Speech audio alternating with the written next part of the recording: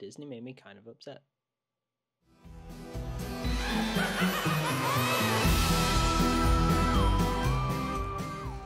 Hello and welcome back to the channel. I'm your grim grinning host Blake. There's nothing in this. I just wanted it for dramatic effect. But peep the Universal Studios mug. I like it. It's pretty cool. Um, yeah, as you can see, I'm back at home. I got the full setup going. I do need some more light over here. That's what I feel. I'm gonna need to get some more uh, LED lights on this side. But I thought I'd, I thought I'd make it a little bit better. So you know those the not not this not this lightsaber you can see right here uh, but I got the two smaller ones. I got them like standing up on my desk. One, this one's blue, same color as that right there, and one's yellow. And I got the the X-wing kind of lit up. You know, some nice lighting. I got the lighting in the back. I forgot to turn on the Star Wars one. It's whatever. We'll, we're learning for next time. And then I've got the projector going. You know, you got Magic Kingdom. Gotta have it. Stuff it's gonna change probably. It keeps it's like a little montage thing. This is a sort of a more chill video.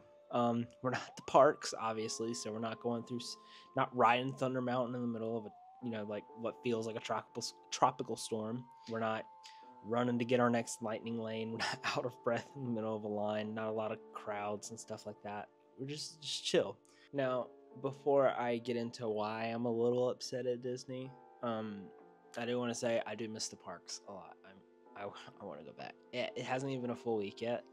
I think this time last week, what is it, Wednesday that I'm recording this? Um, this time last week we were we were at Universal last Wednesday. Uh, it's crazy. Uh, what a lot of you guys don't know is we took an extra day. Um, we're supposed to drive back Thursday, but I bought extra tickets to go to back to Hollywood Studios, which is like I said, me and Caroline's favorite park. Uh, we went back to Hollywood Studios on Thursday and drove back Friday instead. That wasn't the original plan. I didn't record anything other than like maybe a few TikToks um, that you guys may or may not see. By the way, go follow me on TikTok.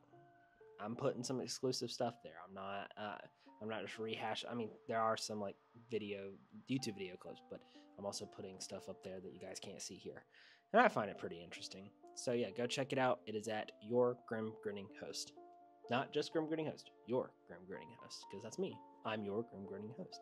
I, I didn't want to record a lot while I was at Hollywood Studios the second time, um, because I kind of I realized that I was recording so much while we were at the parks. Well, it's great. No, I'm glad that I got the content for you guys. I just wanted to, you know, enjoy a day with my girlfriend, you know, at the Disney parks, like old times before the YouTube channel even started. So I, I got us more tickets to Hollywood Studios. We went, we had a blast. It was so fun. It was good to kind of just feel it, you know, instead of worrying about getting the camera angles and stuff. Now there were some stuff that I wish I could have filmed, like um, we got we went on Millennium Falcon, only people in there. The I'm dead serious. We got pilots, both me and Carolyn. We were the only people in the ship, only ones. It was awesome. Um, we got to meet Max and Goofy. I tried to record that for you guys actually. I did try to record that. It didn't turn out so well because I was kind of I wasn't in full YouTube mode, so like a lot of the video was like not aimed at anything. Um, so I didn't get to record that for you guys. But another thing that I wanted to record for you guys, but I just it's like, nope, nope. I promised myself, I promised Caroline, it's just us. It's just for our enjoyment. We got front row seats to Fantasmic. It was so much better than what you guys saw. Oh my gosh. And just that that show. I just love that show. But speaking of Hollywood studios, that kind of has some sort of relation to why I'm a little upset at Disney. One of the big reasons why I started this YouTube channel and wanted to base it around, you know, Disney and Universal and stuff is because of one specific character interaction. I post him all the time. If you watch my TikToks, I got a bunch of TikToks on there with him. Um, I have so many videos in my phone that I haven't shared publicly, and that's every time I go in, I meet Lieutenant Agnon. Okay, now I don't want to ruin the magic for anybody.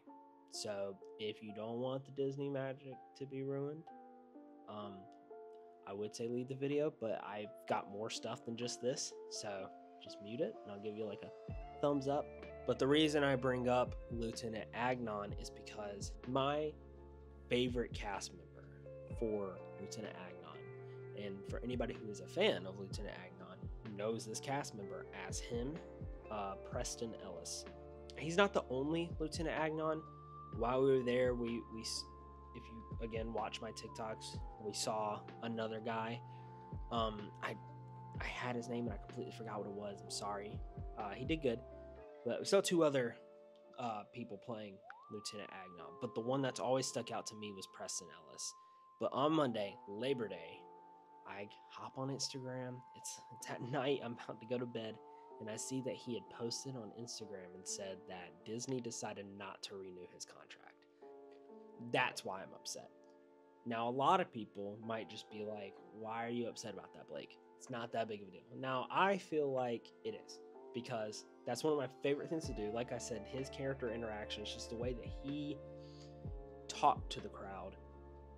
It made my trip almost. Like it was like what I was like, oh my gosh, this is the I was like, this is the coolest character interaction I've ever had. And it's it feels so personal, it's so funny, it really immerses you into the world of Batuu and Galaxy's Edge, Black Spire Outpost, Star Wars as a whole. And I just think he did so well. The other guys, they did great. Don't get me wrong. The other guys, they did great. There was one guy, the last one that we saw, I didn't actually get to talk to him like I did the other Preston and the other guy. Um, but he was he was a little bit more menacing. Preston's like more funny, like jokey kind of, you know, style. The other guy that I'm talking about, he was he was more intimidating, more menacing. He still had like a few zingers here and there. Now I'm not saying that's the wrong way to play him. I feel like you take you take it and you do however you feel like you need to do for the character. Um, but I just preferred the more jokey, you know, version of Lieutenant Agnon. Now, the other guy that you guys see in my TikTok as well is um, he had a little bit more zing, but he felt like he was more he was also a little bit more serious. Like he was a nice in between. Um, and he, he did great. But like I said, Lieutenant Agnon Preston Ellis was my first, and I just I just liked his rendition.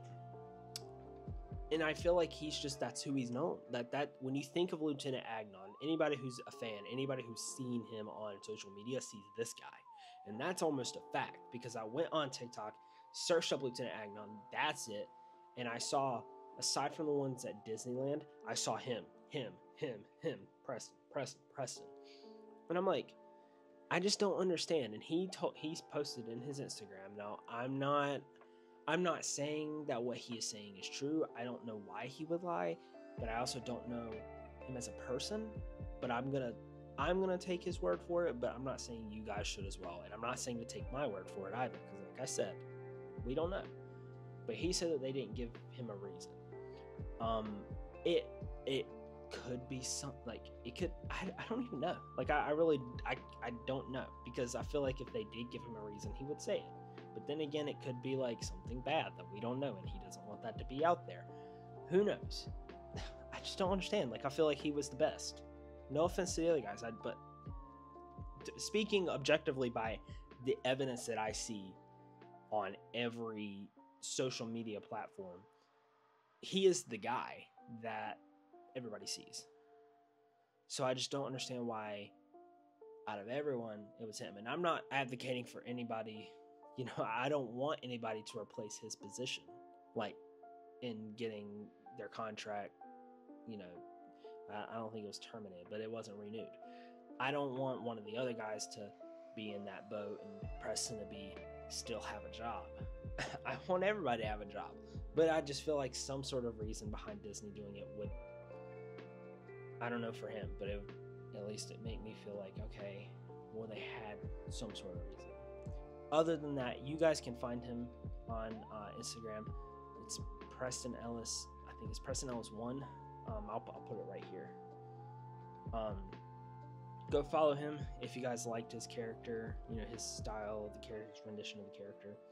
Uh, and we wish you the best. Everybody who's a fan of you, Preston, if you're watching, everybody who's a fan of you, we wish you the best. We hope that you find something that you're happy with, uh, maybe, and if this is something that you would want, maybe Disney might take you back after seeing how much everybody's like, what the heck, dude? Uh, but other than that, we wish you the best. We love you. We love, you know, you are our Lieutenant Agnon, and we'll stick beside you for whatever, whatever endeavors you have next, and we can't wait to see your adventure. Other sad Disney news. Um, this moving on to Disney Springs side of the park or the the bubble. I didn't know that Dreams That Soar, the drone show, was a limited thing. Now, maybe I'm just oblivious. Maybe I'm not too into. Maybe I'm not. Maybe I'm not as much into the news as I should be. You know, being a park YouTuber, but I had no idea that it was a limited thing. If I did, I probably would. I probably would have. You know, I don't know, just taken in the watching the show in person a lot more. Um, I'm glad now that I recorded it because Dreams That Soar was a limited thing, and it ended. Uh, today's the fourth. It ended Monday. I didn't know that. It ended the second. Uh, so I hope you guys got to see it in person. If not, you guys can go back to my channel and watch the uh, for the Disney Springs video, and it the whole show's in there. Sorry, I tried to fix it, but I just don't have the charger on hand right now. But so the lighting's gonna be a little different. Yeah, if you guys want to go see that, it's on my YouTube channel. You can go see the Disney Springs vlog. I recorded the whole thing, so you guys can see it. It was truly phenomenal experience, but it it it the the video doesn't compare, honestly. So that's gone. Sad. I hope they bring back some other drone show I don't know why they wouldn't because I feel like drones are expensive. So it'd be kind of, I mean, I know Disney is like a mega corporation that, you know, has tons of money, but I, I, I still feel like I don't, it'd just be weird for them to invest in all these drones and then only use them for a limited time and never use them again. So I wouldn't be surprised if they had some sort of plan for like a new show, similar like how they do the fireworks, how they have new shows every now and then. Um, maybe they'll do something new with the drones. Who knows? But speaking of drones, I was going to cover Illuminous. I believe that's the name. Illuminous uh, in Universal, uh, their drone show. I didn't get the chance because they're they're it's not they're not doing it right now, but they are reopening. If I my information is correct, they are reopening back in New, November. Their drone show will be back open. Uh, I'm thinking maybe it's because Halloween Horror Nights for some reason. I'm not too sure. We'll see. But yeah, November, Illuminous should be back open.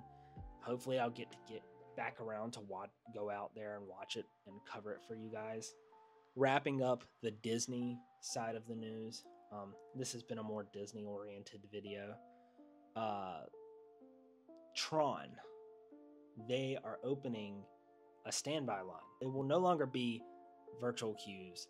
It'll be a standby line. They are opening it next week as of me recording this video on the 4th of September. Next week, standby line, you can just walk up. It's gonna be skyrocketed. that the only ride that tops that in terms of launch to me, which I feel like is the best part of roller coasters, but to, to each their own. If you don't like launches, you know that's fine. I really love launches. Uh, no, the fireworks. Have they been going the whole time? The only ride that beats Tron in terms of launches is Rock and Roller Coaster. That one's just insane. Like it just takes off. My top three are definitely Velocicoaster, Tron, and Rock and Roller Coaster. Standby line next week on Tron. You can just walk up, no longer having to wake up super early to make sure you get that, you know, virtual queue.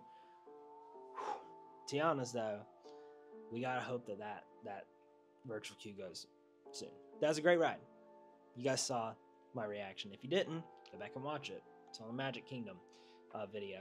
Also on the Magic Kingdom video, the epic Thunder Mountain video, which I rewatched it and it just, you know, you seeing everything that happened on Thunder Mountain and then it's just cutting to us going into Pirates and I just look like I've been through war. it's so funny to me. Now, I mentioned um, Halloween Horror Nights earlier when I was talking about Illuminous and maybe that's how it why it got impacted. I'm still not sure.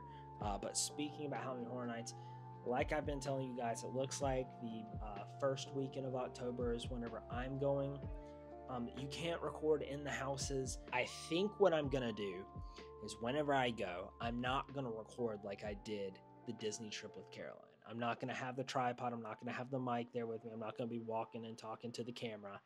I will record things. You can't record inside the houses, but I will record things that I see, like the scare zones, maybe some snacks that I get because I know I really want to get the the marshmallow, not the marshmallow, the the s'more uh, from Ghostbusters. So I'll like record stuff like that, my reactions and stuff like that. But it's gonna be more along the lines of just a handheld camera, you know, kind of thrown together, and then it'll be a video like this where I just recap my trip and throw in those videos, and I'll rank the houses.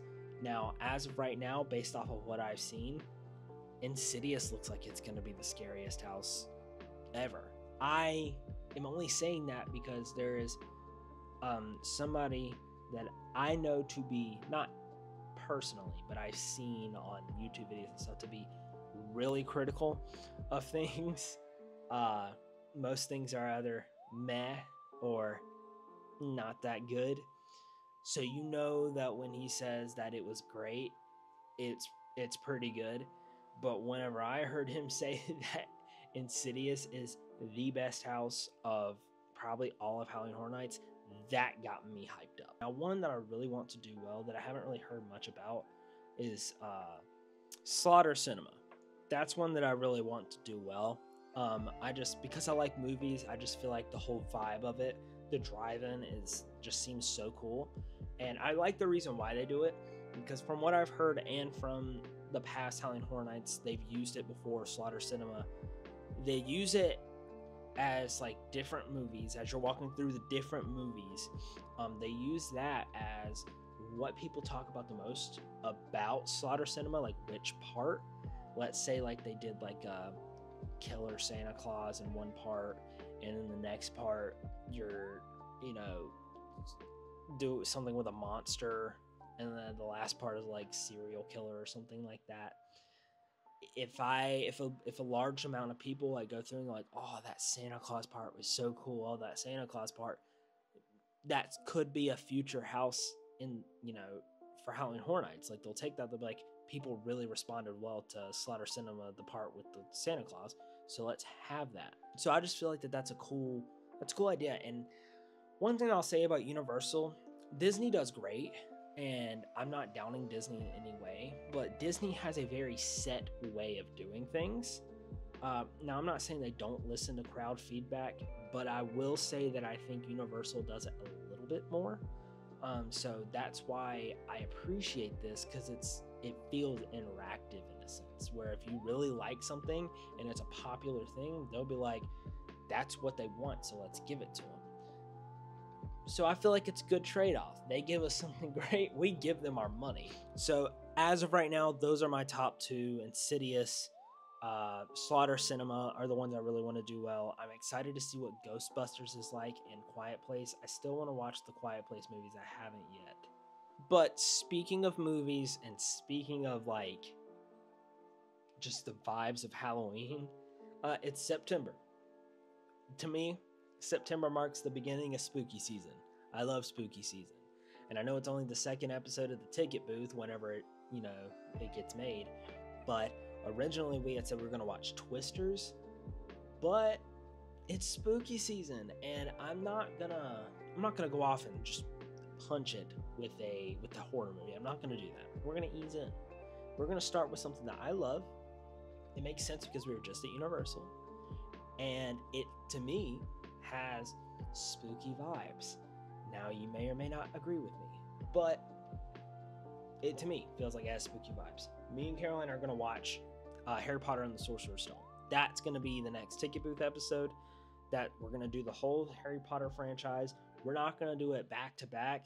I'm going to riddle in some other movies in between. We're definitely going to get more ticket booth episodes out more frequently. But we're starting off the second episode with Harry Potter and Sorcerer's Stone, and then obviously I'll have some scary, scary movies in the ticket booth, and I'm excited for that. I'm excited to see who I can get on to come watch a movie with me and record a, uh, record a podcast, have a conversation about it because I just love talking about movies. If you guys have any movie suggestions for spooky season, maybe some that I haven't watched, maybe some that I know somebody hasn't watched but I have, just throw them in the comments. If you guys want to see a specific movie on the podcast, let me know. And if I can make it happen, I'll try to make it happen that's all I have for today's in the news. This is going to be not like a very frequent thing, but occasionally I'll pop in here and give you the news that I know of. Just have a sit down chat, you know, kind of like a one on one situation. Um, yeah, that's all I got for you guys today. Uh, be on the lookout. Well, this weekend, uh, we're going to do the ticket booth episode for Harry Potter and the Sorcerer's Stone. So be on the lookout for that. Hopefully, you guys enjoy the first one. Karate Kid was a great movie. I do want to watch the other ones. Maybe we'll do it for the ticket booth. Maybe not. Let me know if you guys want to see the Karate Kid movies. It'll probably be after spooky season. So I really hope you guys have like this style of video. Um, it won't be that frequent, but I wanted to get something out there for you guys, and I just thought that this was a great way to kind of come together. Oh, it changed again. Wait, is that the? Oh, that's the best bathrooms in Magic Kingdom. Anyways, really hope you guys like this video. Make sure to like, make sure to subscribe, make sure to share with your family, with your friends, and your loved ones. And who are we going to share with today?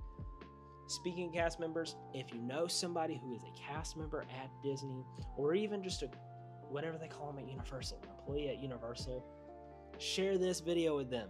As always, I've been your Grim Grinning host, Blake. Thank you guys for watching, and I will see you guys in the next video, which is probably going to be the ticket booth. See you.